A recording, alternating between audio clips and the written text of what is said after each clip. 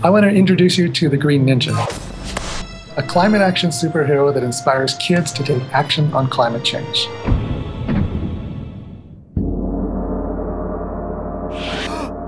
The Green Ninja. We develop uh, short films, animated and live action films that chronicle the adventures of the Green Ninja.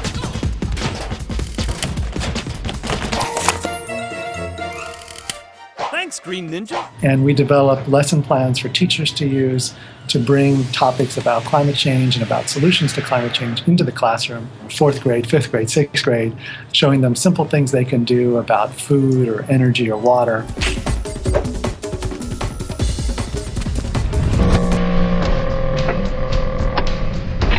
From my perspective, he's kind of humble. He's doing things out there. He's going to make some mistakes like all of us, but he's definitely moving us in the right direction. I am king of this front yard. This guy gets a gas-powered leaf blower for himself, and he's all excited. He's he's uh, he finds a leaf and he, he blows it at this leaf, but uh, you know the leaf blower thing goes out of control and starts spinning, creates a tornado.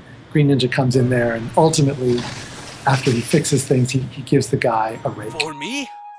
Wow. I think the reason that we, we took this look at Kickstarter is that typically when I go and write a proposal to National Science Foundation, it takes six months to get the reviews, and then it's another three or four months before we get any money. So this is a much more rapid turnaround. It's a relatively small amount of money. We can do something what we think is going to be really impactful. We just need someone to help kickstart.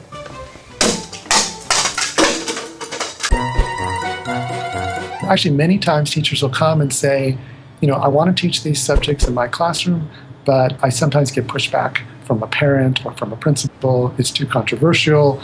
2012 was a year full of stories about climate change. What better story to tell and educational experience to offer um, than climate change? Educators understand that topics like this are really important for our young people to learn about, and they're really good demonstrations of the kind of interdisciplinary nature of real, world, real world learning. And it's a great way for them to integrate math and science with literacy as well. And young people are going to be the architects of our future world. I did it!